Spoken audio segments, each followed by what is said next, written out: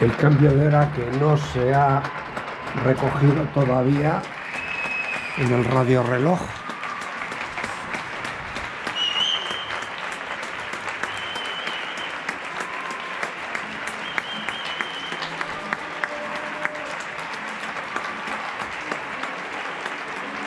Los árboles que van floreciendo, enverdeciendo.